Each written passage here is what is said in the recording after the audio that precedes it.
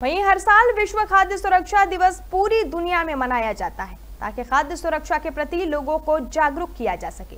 लेकिन ग्वालियर, चंबल, अंचल आज भी मिलावटखोरों की जकड़ में बना हुआ है। ऐसा हम इसीलिए कह रहे हैं क्योंकि खाद्य पदार्थों की सुरक्षा पर सवालिया निशान उठ रहे हैं। बीते एक साल में एक हज़ार तीन सौ चौवन सैंपल खाद्य विभाग की ओर से लिए गए थे, जिनकी जाँच में दो सौ बासठ सैंपल मानक पर खरे नहीं उतरे। इस पूरे मामले को लेकर ज़िले के फ़ूड सेफ्टी डीओ सीएमएचओ का दावा है कि शासन के निर्देश पर ग्वालियर चंबल अंचल पर और अंचल भर में लगातार कड़ी कार्रवाई की जा रही है।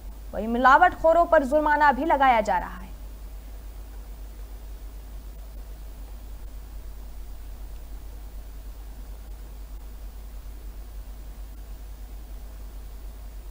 खाद्य विभाग हमारा बहुत इफेक्टिवली कार्रवाई कर रहा है।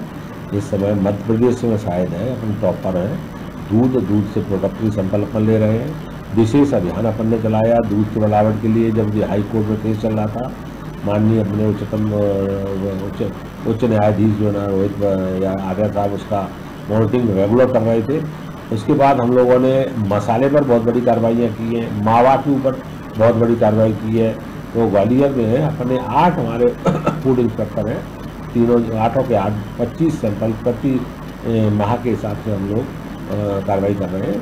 तो उस कार्रवाई में जो सब स्टैंडर्ड निकल रहे हैं या अनसेफ निकल रहे हैं उनके खिलाफ हम लोग कार्रवाई करते हैं और उनको दंडात्मक कार्रवाई के लिए कोर्ट में परिवाद पेश करते हैं।